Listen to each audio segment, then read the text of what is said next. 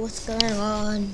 Back with another stupid video, jumping on bouncy balls.